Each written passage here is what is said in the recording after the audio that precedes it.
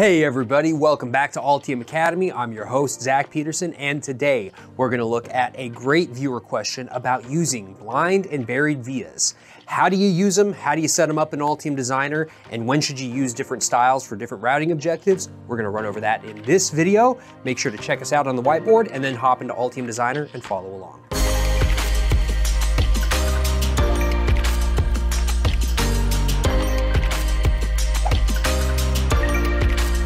First, let's take a look at this viewer question. Senthil Kumar writes, Hi Zach. Number one, please make a video about how to do fan out for a fine pitch BGA, pitch 0.4 millimeters or 0.3 millimeters. And two, what's the difference between microvia and blind and buried via and how we use them in a PCB layout? So obviously these two questions are closely related. In order to do a fan out for a very fine pitch BGA that has, say, a pitch of 0.3 or 0.4 millimeters, you are going to probably have to use blind and buried microvias, or you're going to have to do very fine line routing between the pads. Most likely it will be using these types of vias.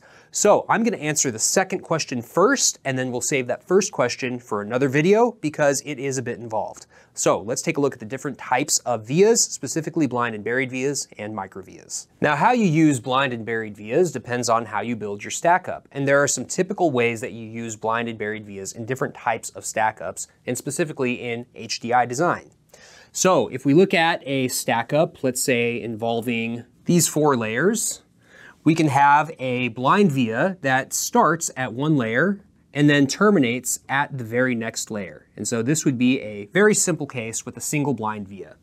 We then typically mirror that over to the other layer, and then we have a conventional buried via starting here and then terminating here at this other end. This would be a I plus N plus I type of build.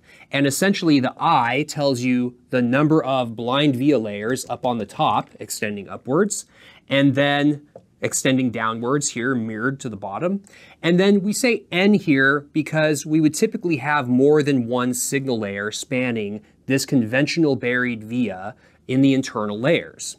Then we could also have a through hole via spanning the entire stack up, starting from the top and then ending all the way down at this bottom layer.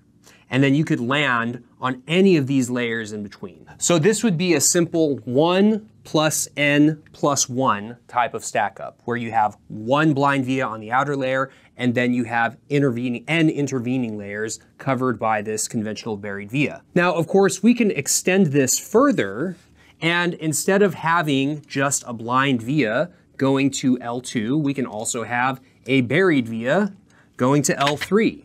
So we could then also start here with a buried via and here on the very next layer. And then we have a via transition like this. And then once again, we can mirror this down and do a buried via transition like this. So the way these builds are constructed is such that these are the available routes that you could use. But just because you use blind and buried on the top layer doesn't mean you have to also use them on the bottom layer.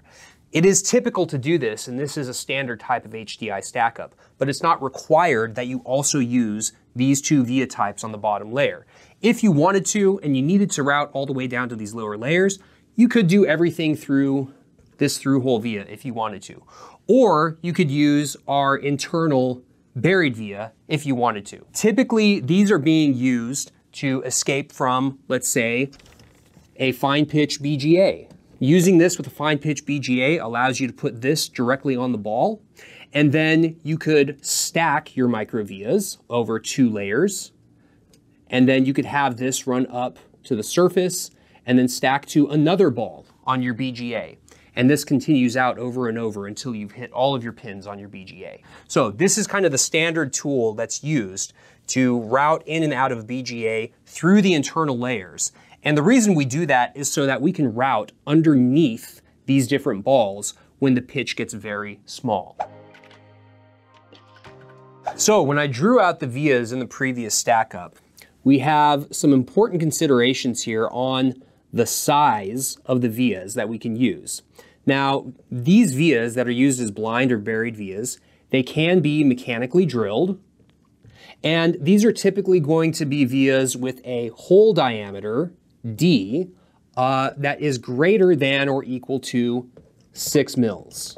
So that's about our limit for mechanical drilling. Now, if we need to go smaller than six mil barrel diameter, then we're gonna have to use laser drilling. So that's how we hit these different diameter limits. So less than six mils, go with laser drilling. So not all fabricators are gonna be able to do laser drilling, and not all fabricators are going to offer mechanical drilling down to six mils. You may be stuck at eight mils. So just keep that in mind. Now, the next thing, what determines this depth? Well, of course, this depth, we'll call it H, that is determined by our layer thickness. So the dielectric thickness determines H. And in order to fabricate a blind or buried via that is highly reliable, we have to stick to a certain aspect ratio or a ratio of H to D. So typically for a, let's say, through hole via on a standard thickness board, this could be something like 10 to 1. So for example, this would be like a 62 mil board with a 6 mil mechanically drilled through hole. That would give you a 10 to 1 ratio. You can even see this go as high as 12 to 1 with a thicker board. And if you're gonna go to these types of limits, this is pretty extreme. That's where you're gonna have to make sure, again, you contact your fabricator, make sure that they can handle these different um, aspect ratios and that they can prove reliability. For a blind and buried via, we're gonna have something much lower. Uh, typically, the largest that this ratio should get should be one to one. So if we have, let's say, a six mil dielectric thickness, then we could have a 6 mil diameter. However, we would like to see something more like 0.67 to 1.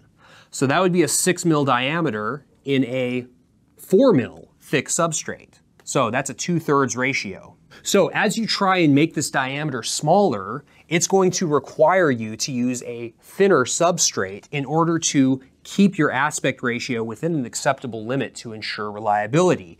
And of course, eventually, as you make this diameter of this hole smaller, eventually you get into this laser drilling regime and you're no longer going to be able to mechanically drill those vias. So when I draw this out, this looks like a conventional via, but it could also be a micro via. So a micro via typically is visualized having this, you know, kind of sloped structure like this, and then you have the landing pad down here, and then your traces go off like this. So now let's look at how we can use these vias in stacks, and then we'll look at another type of via called a boomerang via.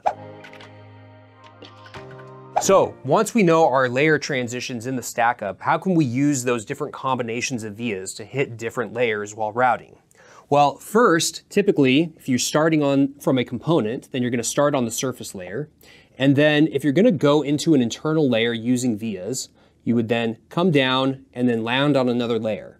Now you need to make the decision. Do we route over somewhere else and go to another via? Or do we continue through the stack up directly using a buried via? Well, you can really do either. Typically, you can stack blind and buried vias, that's perfectly fine. Or you can go over to another part of the board and you can then go to a buried via over here. So this type of routing path where you route down and over and then down is called a staggered via. So you have staggered blind and buried vias. This type of arrangement is called a stacked blind buried via. And you can technically do either. There are reasons to do both. This is typically what you'll see in BGA fan out. This is typically what you'll see when you're just doing some general routing. Now, are there any reasons to avoid stacked blind and buried vias?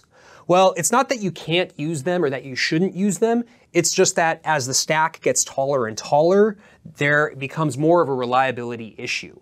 So the reliability issue arises and is related to the aspect ratio of these vias. And as these get stacked taller and taller, there is the chance that they could exhibit an intermittent failure where they fracture after heating up, but then when the board cools back down, the contact here between different copper portions on this uh, microvia structure then closes and then you get a closed circuit again. So there are reliability issues with these. Fabricators have gotten better over time at dealing with this and, and qualifying these builds so that they know that they are reliable. So before you start stacking up blind and buried vias to very high numbers, make sure you check with your fabricator and make sure that you know the aspect ratio at which they are going to be able to ensure high reliability. Now, another type of routing that's available with vias is actually called boomerang routing. So this involves starting on a layer, let's say the top layer, going down through a through-hole via all the way down to your bottom layer. So here we have the top, here we have the bottom.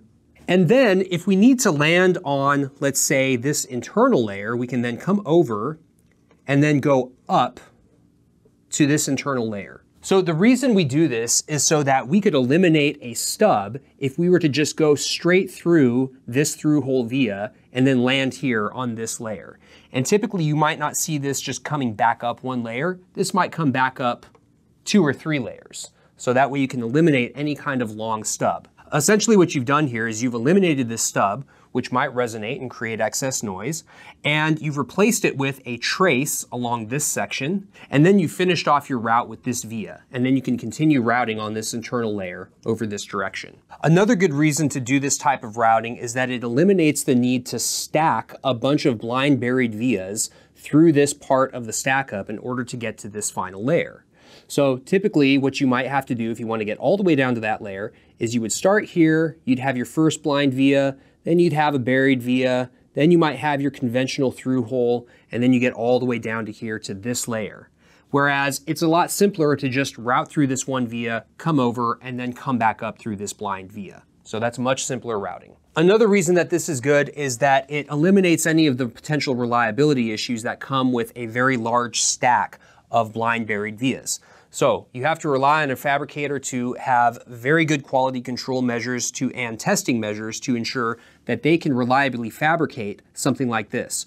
Whereas this is going to be much easier to fabricate and it's probably going to be much more reliable. So I would say boomerang is going to be preferred to something like this where you have a very, very big stack of blinded buried vias. Now using all of these different types of vias successfully requires designing the right stack up and then of course you need to get that stack up qualified with your fabricator.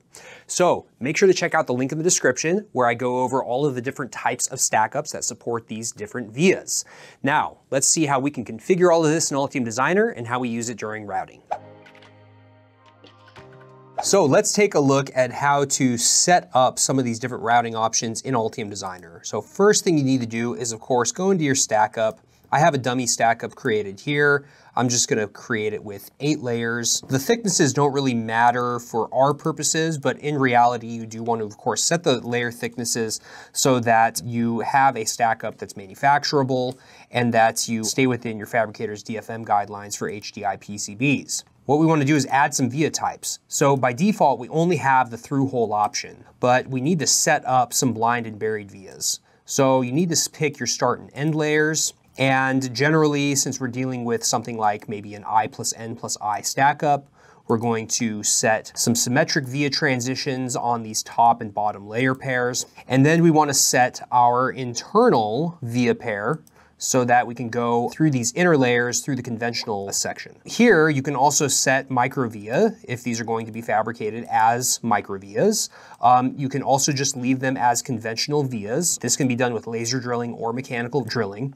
But in this example, this is how I have it all set up. These via transitions are just defined as transitions. They are not defined as actual width and depth. The only depth that's defined here is based on the layer depth, and it's not defining the pad width or the drill width. The other thing that you can define here is, of course, you can place a skip via, just like this, and you can make that skip via a micro via, as I'm showing here, on the right side of the stack up. How do we use all of these different tools? Well, let's just suppose that I'm on the top layer, I'm going to start routing a trace through here, and I want to make a layer transition. So when I hit the star key, I automatically make a layer transition to the second layer. But of course, I can hit the pause key or the tab key and then go over here into the properties panel. And if I want, I can select one of these other layers. Now I can select down to layer three and then click, and then I will land on layer three. Here in this example, what it does is it's automatically placing a transition from one to three. But you can see here that because I'm on layer three and I've selected this, it's automatically applied this as a stacked microvia. So you can see that here also if I go up to the top layer and select this via, I have a microvia from one to two, and then I have my microvia from two to three. So it's automatically placing them as stacked microvias. If you wanted to do this as like staggered, what you would have to do is instead go back here to your trace on the top layer, start routing, and then hit the star key. And you see how it lands here on layer two in the properties panel? Just go ahead and click that and then continue routing just a little bit and then do another layer transition and that will take you to layer three. So that's how you do a staggered microvia. Then once you're over here, you could then of course hit the layer transition again. What it's doing is it's dropping that conventional buried via, but it's only going down to layer four. So here I can hit star again. You see it's gonna go down to layer five. Star again is gonna take us to layer six. That takes us to layer six. And then if I hit star again, I'm going from six to seven. So this is again a microvia, it's just inverted. And if I want to, I could hit the pause key, come all the way over here, just click bottom layer. And again, you see here on the right side, it's automatically going to place a stacked microvia here down to layer eight. And then I can just click it and there it is. Now I'm on layer eight. So I've done all of those routes pretty simply. Of course, anytime you want to go back and maybe, let's say, change these stacked microvias to a skip via, you can do that from the properties panel. I just select this microvia and then I can click skip from one to three. And then what I would want to do is of course change this trace down to layer three and then I could delete this microvia. And so now I've done a skip via all the way from layer one to three. Now, I mentioned earlier boomerang vias. Those are also very easy to do in Altium Designer. All you have to do is start routing a trace and then engage a layer transition with the asterisk key. Then once you're to this point, you can hit the 8 key. Now, what this is going to do is it's going to allow you to select between different vias that are landing on this layer that you see in the right side of the screen. So if I just hit escape, hit tab, and then go over here to bottom layer, I can also change the via type just with the 8 key. And you can see here I have my stacked options, or I can go back to my through option. Generally, in these types of boards, if you have the through option to route all the way through to the bottom layer, you should use it, and that's how you're gonna start a boomerang via. So I'm gonna start my boomerang via like this, and then when I get to my next layer transition, I'm gonna switch my destination layer to, let's say, this layer, so layer six, and then I can hit the 8 key after unpausing, and then I'm gonna select this stacked via and I'll just set it here, and that's it. I've now landed on layer six. So what I did is I started on the top layer, went all the way down to the bottom through this through hole, and then I came over and then up. The reason I did this is because it allows me to eliminate a stub on this layer one to layer eight layer transition. If I want to, I can of course go back and if I needed to change this to let's say a skip via, that's fine or I can just delete this layer six to seven transition and then I can just keep the layer seven to eight transition. So instead of landing on layer six, I'm landing on layer seven. So that's pretty much how you use these different tools. They're very easy to access and configure. And of course, you can change all of the via sizing and stuff that you see here in the right-hand side uh, in the properties panel. Thanks for watching this video, everybody. This should give you a good introduction to the different types of vias used in more advanced designs and in high density designs. Now make sure to check out the links in the description. We have some great resources that show you how to use these different types of vias, as well as the stack-ups that support these different types of vias. We'll also have another video coming soon that answers Senthil Kumar's other question about doing a fan out for a high density BGA. Make sure to leave your comments and questions in the comment section. And just like Senthil Kumar did, you can also reach me on LinkedIn. And last but not least, don't forget to call your fabricator, folks.